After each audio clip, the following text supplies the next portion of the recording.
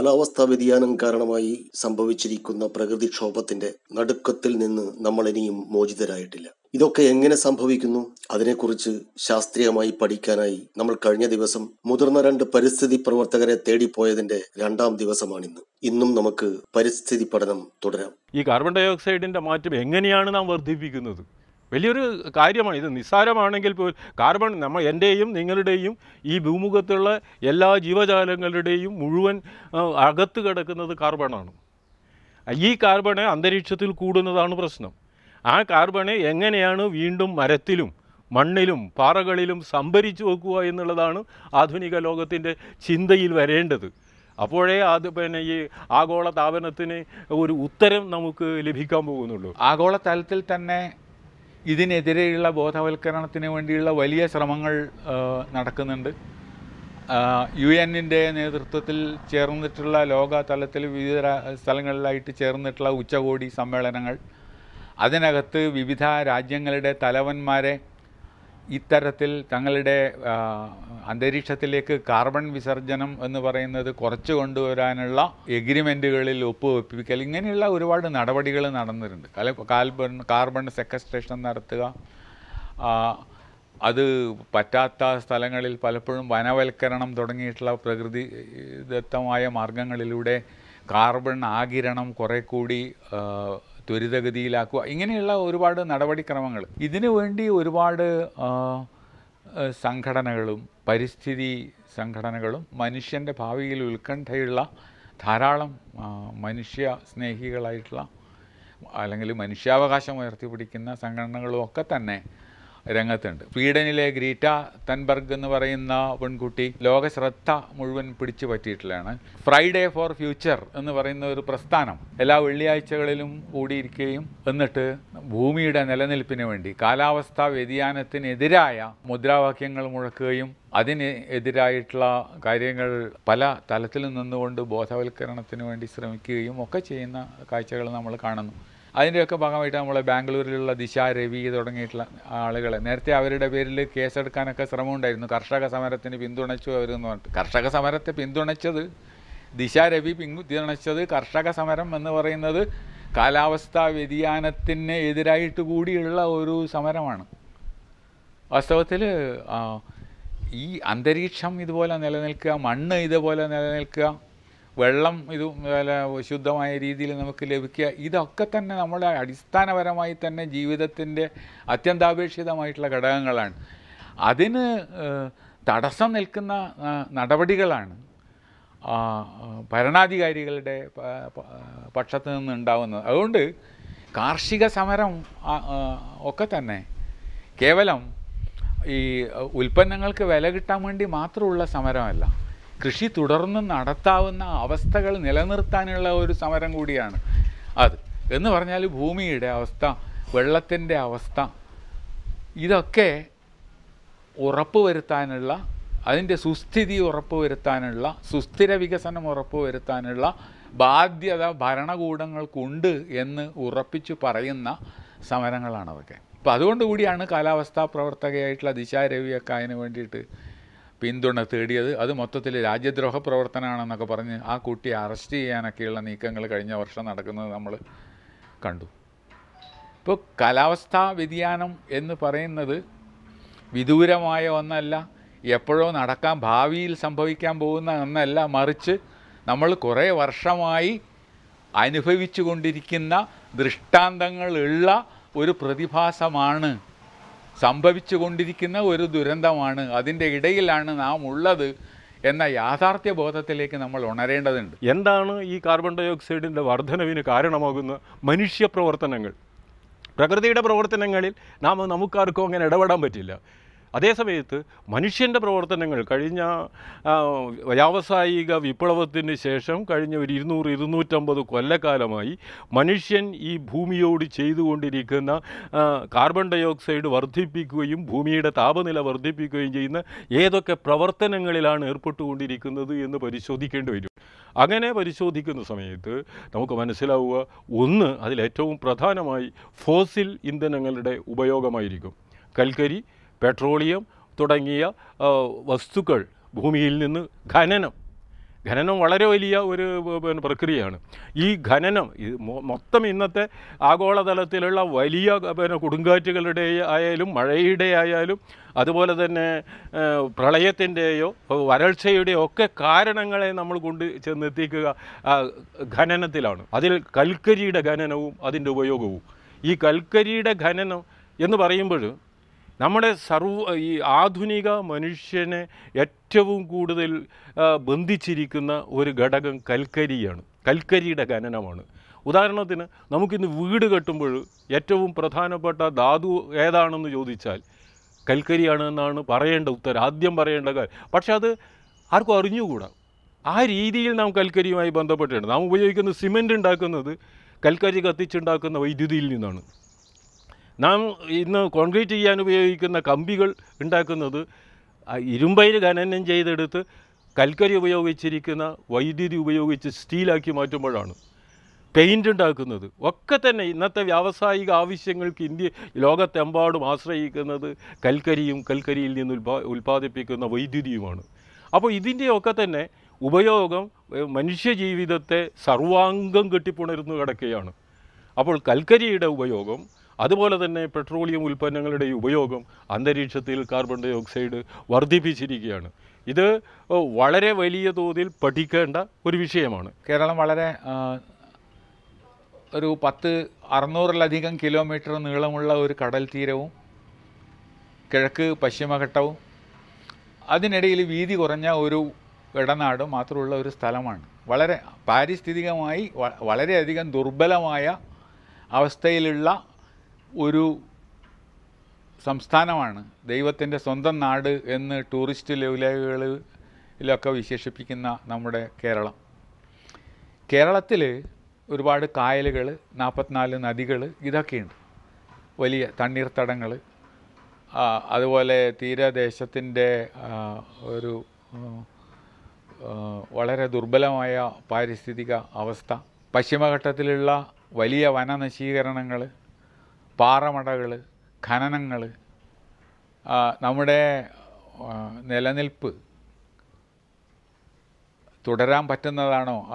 അതിജീവനം ഇനി സാധ്യമാണോ എന്നൊന്നും ആലോചിക്കാതെയുള്ള വികസന പ്രവർത്തനങ്ങൾ. വികസന പ്രവർത്തനങ്ങൾ പലപ്പോഴും ഞാൻ നേരത്തെ സൂചിപ്പിച്ച പോലെ സാമ്പത്തിക വളർച്ച ഉണ്ടാവുമോ എന്നുള്ള ഒറ്റ പരിഗണനയുടെ മേലാണ് വികസന പ്രവർത്തനങ്ങൾ മുഴുവൻ നമ്മൾ ആസൂത്രണം ചെയ്യുന്നത്. അപ്പോൾ അതുണ്ടാക്കുന്ന ദുരന്തങ്ങൾ എന്ത്?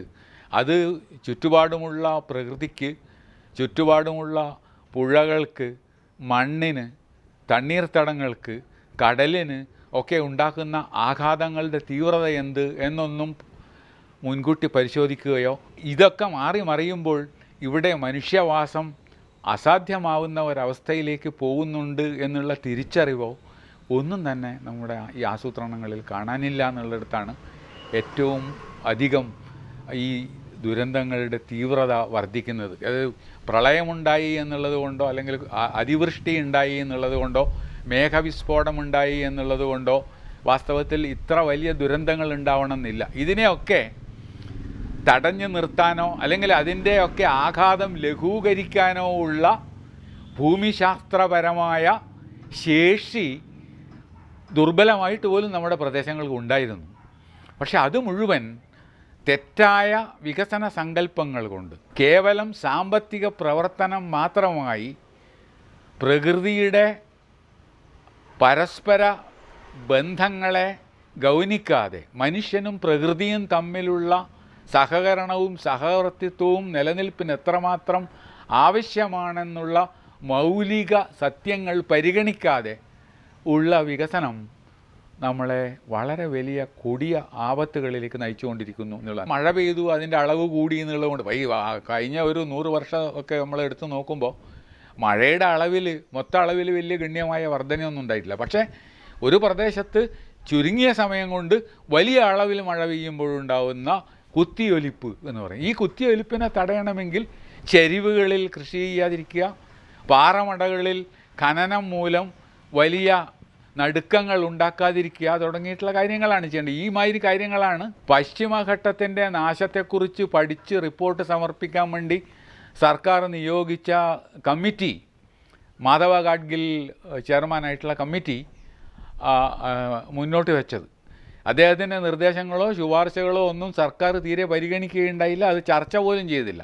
പശ്ചിമഘട്ടം നിലനിൽക്കേണ്ടത് കേരളം പോലുള്ള സംസ്ഥാനങ്ങളുടെ നിലനിൽപ്പിന് അത്യാവശ്യമായിട്ടുള്ളൊരു കാര്യമാണ്. പശ്ചിമഘട്ടത്തിന്റെ പാരിസ്ഥിതിക പ്രാധാന്യം എന്ന് പറയുന്നത് നമുക്ക് ഒരിക്കലും കുറച്ച് കാണാൻ പറ്റാത്ത ഒന്നാണ് എന്നുള്ളത് നമ്മൾ തിരിച്ചറിയണം.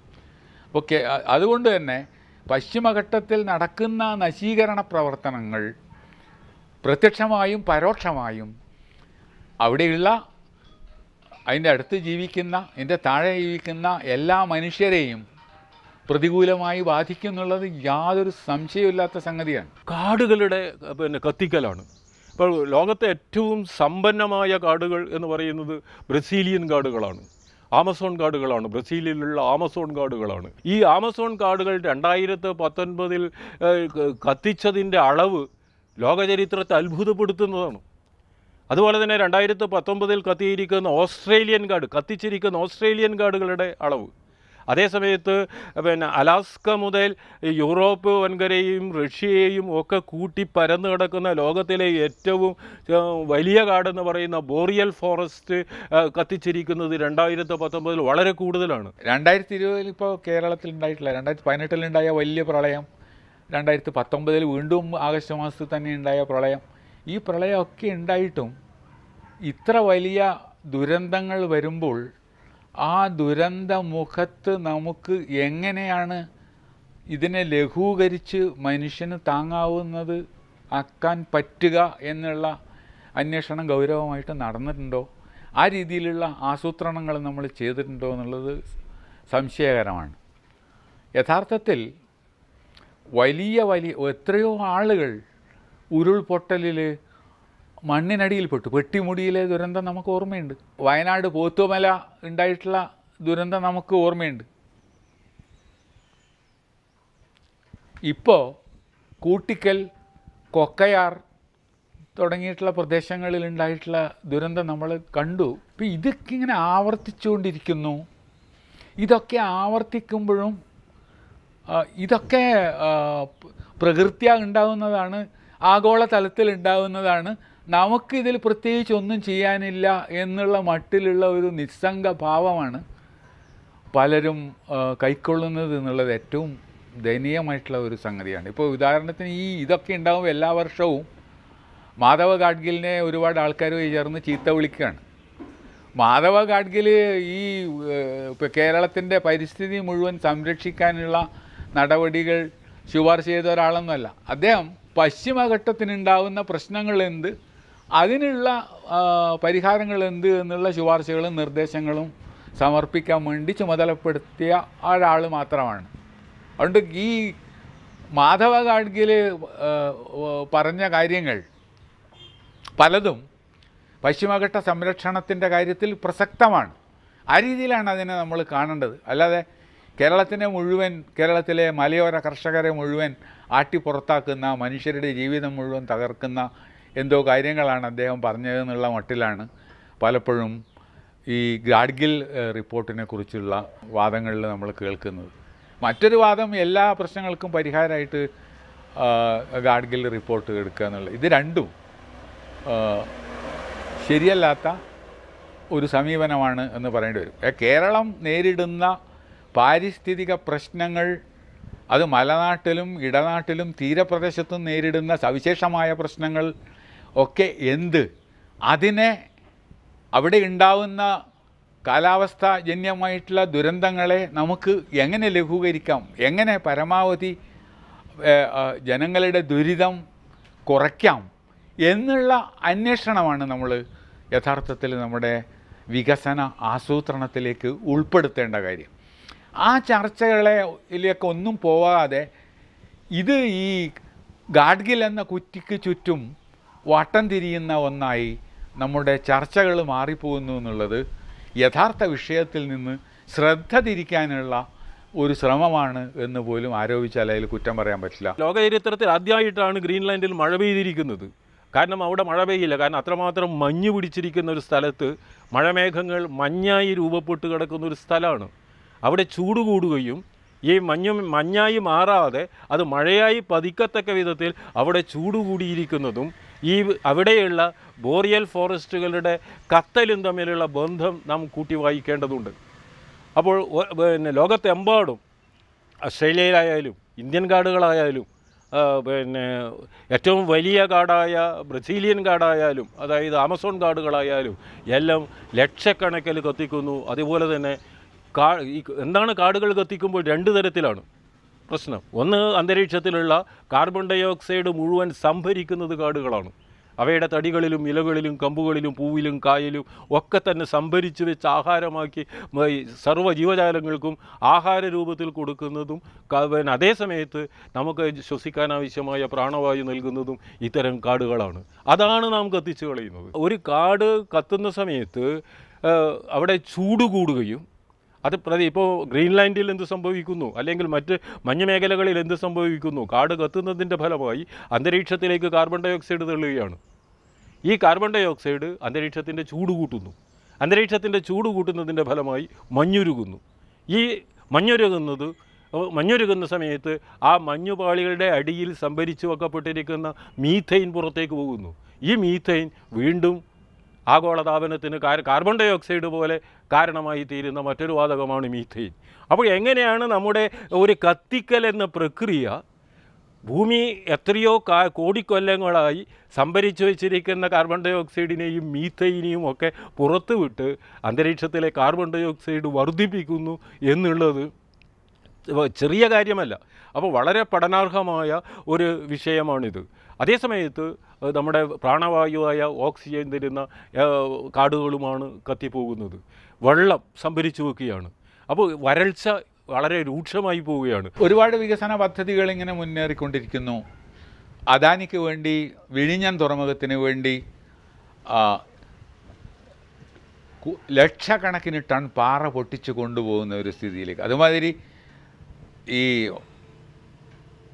കടലിലെ വെള്ളം കരയിലേക്ക് കയറി തീരം എടുത്തു പോകുന്നത് തടയാൻ വേണ്ടി കരിങ്കല്ല് കൊണ്ട് ഭിത്തി കെട്ടുകയും പുലിമുട്ടുകൾ നിർമ്മിക്കുകയും ചെയ്യാൻ വേണ്ടി പശ്ചിമഘട്ടത്തിൽ നിന്നും കരിങ്കല്ല് ധാരാളമായിട്ട് കൊണ്ടുവരുന്നു. ഇത് വാസ്തവത്തിൽ ഈ പുലിമുട്ടുകളും ഈ കടൽ ഭിത്തികളും വാസ്തവത്തിൽ കടലിന്റെ ജലനിരപ്പ് ഉയരുന്നത് തടയാനോ അല്ലെങ്കിൽ തിരമാലകൾ കടലിലേക്ക് നമ്മുടെ കരയെടുത്ത് കൊണ്ടുപോകുന്നത് തടയുവാനോ എത്രമാത്രം സഹായകമാണ് എന്നുള്ള ശരിയായ പഠനങ്ങൾ ഇവിടെ നടന്നിട്ടുണ്ടോ എന്ന് നമ്മൾ അന്വേഷിക്കേണ്ടത്. രണ്ട് തരത്തിലുള്ള ഒരേ സമയം തന്നെ രണ്ട് വശത്തും അതായത് മലയോരത്തും കടയോ കടലോരത്തും പ്രശ്നങ്ങൾ ഉണ്ടാക്കുന്ന ഒരു സമീപനമാണ് ഇങ്ങനെ വൻതോതിൽ പാറ പൊട്ടിച്ചു കൊണ്ടുവന്ന് കടലിൽ നിക്ഷേപിക്കുക വഴി ഉണ്ടാവുന്നത് എന്നുള്ളത് നമ്മൾ തിരിച്ചറിയണം. അപ്പോൾ വൻ തോതിലുള്ള തിരമാലകൾ ഉണ്ടാവുകയും കടൽ തീരത്തുള്ള മുഴുവൻ ആവാസ വ്യവസ്ഥകളെയും തകർക്കുകയും മനുഷ്യരുടെ ജീവിതം പ്രത്യേകിച്ച് മത്സ്യത്തൊഴിലാളികളുടെയൊക്കെ ജീവിതം വളരെ ദുസ്സഹമാക്കുകയും ചെയ്യുന്ന രീതിയിലേക്ക് കാര്യങ്ങൾ നീങ്ങിയിട്ടുണ്ട്. നമ്മൾ തിരുവനന്തപുരത്തൊക്കെ ഇരിക്കുമ്പോൾ സായാഹ്നങ്ങൾ ചെലവഴിക്കാൻ വേണ്ടി ഏറ്റവും അധികം പ്രയോജനപ്പെടുത്തിയിട്ടുള്ള ശംഖുമുഖം കടൽ തീരമൊക്കെ ഇന്ന് കഥയായി മാറി.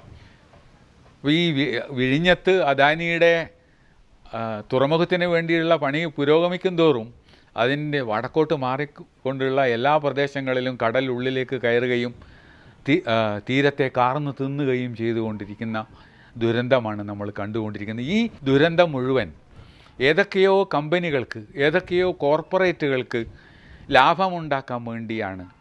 നമ്മുടെ എല്ലാ വിഭവങ്ങളും ഇത്തരത്തിൽ ധൂർത്തമായ രീതിയിൽ ചൂഷണം ചെയ്യാനുള്ള അനുവാദം നമ്മൾ കൊടുക്കുന്നത് എന്നുള്ളത് നമ്മൾ തിരിച്ചറിയും. ഇനി ഇങ്ങനെ ധൂർത്തമായ രീതിയിൽ വിഭവങ്ങൾ ചൂഷണം ചെയ്യാനോ ഭൂമിയെ ഇനിയും മലിനീകരിക്കാനോ ഉള്ള സാധ്യത തുലവും പരിമിതമാണ് എന്നുള്ള കാര്യം നമ്മൾ അംഗീകരിച്ചേ മതിയാവും.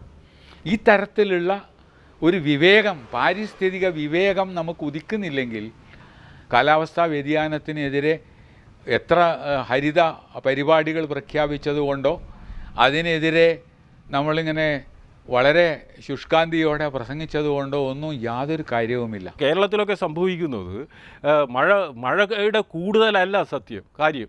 മറിച്ച് പെയ്യുന്ന മഴവെള്ളത്തെ സംഭരിച്ചു വെക്കാനുള്ള പർവതങ്ങളുടെ ശേഷി നഷ്ടപ്പെട്ടു പോയതാണ്. അപ്പോൾ മഴവെള്ളത്തെ സംഭരിച്ചു വെക്കുകയും വളരെ ചെറിയ തോതിൽ അത് പുറത്തേക്ക് വിട്ടുകൊടുക്കുക അരുവികളായി പുറത്തേക്ക് വിടുകയും ആ അരുവികൾ ചേർന്നൊരു പുഴയായി ഒഴുകുന്ന ആ ഒരു ഭൂമിയുടെ സർവാശ്ലേഷിത്വം എന്ന് പറയുന്നത് നാം ഖനനം ചെയ്തും കാടുകൾ വെട്ടിയും ഭൂമിയുടെ തെറ്റായ പരിപാലനം വഴിയും ഭൂവിനിയോഗത്തിൽ വന്ന തെറ്റുകൾ അതൊക്കെ വഴി നാം ഇല്ലാതാക്കിക്കൊണ്ടിരിക്കുന്നതാണ്. ഇന്ന് കേരളം കാണുന്ന ഈ പിന്നെ പിന്നെ വെള്ളപ്പൊക്കത്തിന്റെയൊക്കെ തന്നെ അടിസ്ഥാനം. മറ്റൊരു രീതിയിൽ പറഞ്ഞാൽ കാർബൺ ഡൈ ഓക്സൈഡ് വർദ്ധിക്കുകയും കടലിൽ കടലിന്റെ അമ്ലവൽക്കരണം നടക്കുകയാണ്. അസിഡിഫിക്കേഷൻ അതായത് ഏകദേശം ഒരു അമ്പത് കോടി കൊല്ലങ്ങൾക്ക് ഇപ്പുറം പ്രത്യേകിച്ച് പിന്നെ പുറന്തോടുള്ള നമ്മുടെ കക്കവർഗങ്ങളൊക്കെ രൂപീകരിച്ചിരിക്കുന്ന മുപ്പത് കോടി കൊല്ലങ്ങൾക്ക് ശേഷം ഇങ്ങോട്ട് കടലിലുണ്ടായിരുന്ന കാർബൺ ഡൈ ഓക്സൈഡും കാൽസ്യവും വലിച്ചെടുത്ത് അവ കാൽസ്യം കാർബണേറ്റ് എന്ന പുറന്തോടോട് കൂടിയ വീടുണ്ടാക്കിയപ്പോഴാണ് ജീവജാലങ്ങൾക്ക് ജീവിക്കാനുള്ള ആവാസം ഭൂമിയിൽ ഒരുങ്ങുന്നത് നമ്മുടെ വീടുണ്ടാക്കുന്നതും കക്കയുടെ വീടുണ്ടാക്കുന്ന തമ്മിലുള്ള വ്യത്യാസം അതാണ്. നമ്മുടെ വീടുണ്ടാക്കുന്ന പ്രവർത്തനം സർവ ചരാചരങ്ങളെയും ഇല്ലാതാക്കുന്ന അവസ്ഥയിലേക്ക് പോകുന്നു. അപ്പോൾ കടലിന്റെ അമ്ലവൽക്കരണം കൊണ്ട് പിന്നെ കരയിലെ നിത്യഹരിത വനങ്ങളാണ് പിന്നെ കാടുകളെങ്കിൽ ആമസോൺ പോലെയുള്ള കാടുകളെങ്കിൽ നമ്മുടെ പശ്ചിമഘട്ടത്തിലുള്ള കാടുകൾ പോലെയെങ്കിൽ കടലിലുള്ള നിത്യഹരിത വനങ്ങളാണ് പവിഴപ്പുറ്റുകൾ. ലോകത്തിലെ ഏറ്റവും വലിയ പവിഴപ്പുറ്റുകൾ എന്ന് പറയുന്നത് ആസ്ട്രേലിയയുടെ കിഴക്ക് ഭാഗത്ത് കിടക്കുന്ന ദ ഗ്രേറ്റ് ബാരിയർ റീഫാണ്. ആ ഗ്രേറ്റ് ബാരിയർ റീഫിനെ പോലെ അതിസമ്പന്നമായ മഴക്കാടിനേക്കാളും സമ്പന്നമാണ് അവിടെയുള്ള ജൈവിക വ്യവസ്ഥ.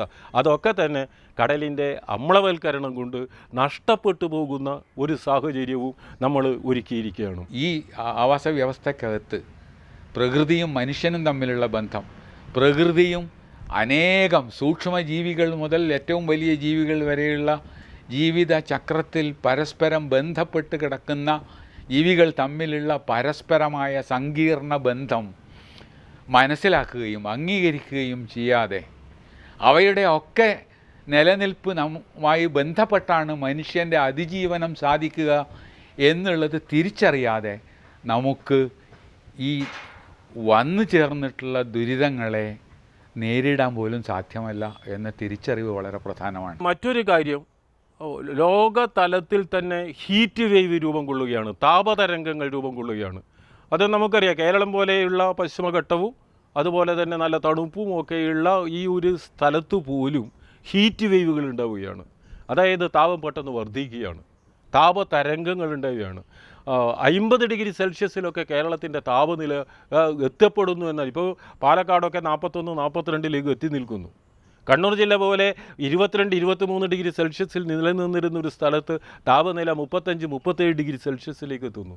അപ്പോൾ ഉണ്ടാകുന്ന താപതരംഗത്തിൽ സസ്യജീവിതം ജന്തുജീവിതം ഒക്കെ തന്നെ ഇല്ലാതാവുകയും അത് വരൾച്ചക്കും വെള്ളപ്പൊക്കത്തിനും ഒക്കെ തന്നെ കാരണമായി തീരുകയും ചെയ്യുന്നു. കാട് കത്തുന്ന സമയത്ത് കാർബൺ ഡൈ ഓക്സൈഡ് പുറത്തു പോവുകയും ഒക്കെ ചെയ്യുന്ന കാര്യങ്ങൾ ഞാൻ പറഞ്ഞല്ലോ. അതേ സമയത്ത് തൊള്ളായിരം ഡിഗ്രി സെൽഷ്യസിലൊക്കെ കാട് നിന്ന് കത്തുമ്പോൾ അവിടെ മണ്ണിനെന്ത് സംഭവിക്കുന്നു? അതിന്റെ രാസഘടന മൊത്തമായി മാറുകയാണ്. അടുത്ത മഴയത്ത് വെള്ളം നമ്മുടെ ചട്ടിയൊക്കെ തന്നെ പണ്ട് കാലത്ത് കലം മൺകലത്തിൽ അത് വെന്ത മണ്ണാണ്. അതുകൊണ്ട് തന്നെ അത് പൊട്ടിക്കഴിഞ്ഞാൽ നാം പറമ്പിലിടില്ല അത് വളരെ ദൂരെ ഒരു സ്ഥലത്ത് കൊണ്ടിടും. കാരണം അതിൽ നീ ജീവൻ നൽകാൻ സാധ്യമല്ല.